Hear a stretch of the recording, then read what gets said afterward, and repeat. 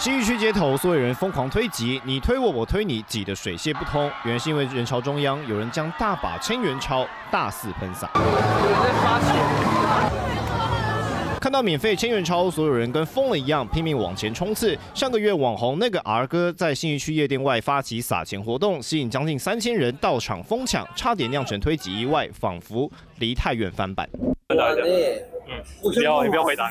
在信义区引起骚动的还有他。上个月十六号，孙安佐和经纪人背着火枪爬爬灶，还试图拿起来展示。网红为了博声量不择手段，却忽略眼前造成的危害。这边本来就是正常马路吧，可是恰好变成一个大型夜店吧，多少都会都会都会有点怕了。尽管人潮已经挤爆，一旦有了网红加入，场面就更加不可收拾。儿哥撒钱差点酿成台版梨泰院，不过事后轻松全身而退。法界分析，这和现行法规脱不了关系。在行政处罚的部分，如果被认为是意图滋事而在公共场所任意聚众妨害公共秩序，而被命令解散又不解散的话，会违反涉违法的规定，可处三日以下的拘役或一万八千元以下的罚款。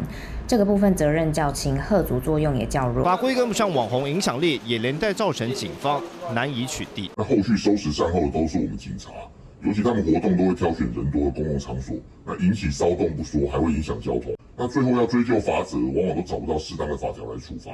那如果你勉强移送，最后也是不起诉。把公共安全当儿戏，网红为了流量变现，不惜使出浑身解数。哪个比较好吃？我们还是好啊。就连公共卫生也堪忧，与其怕网红闹事回归源头，更怕粉丝盲从。三线王晨有逃推报道。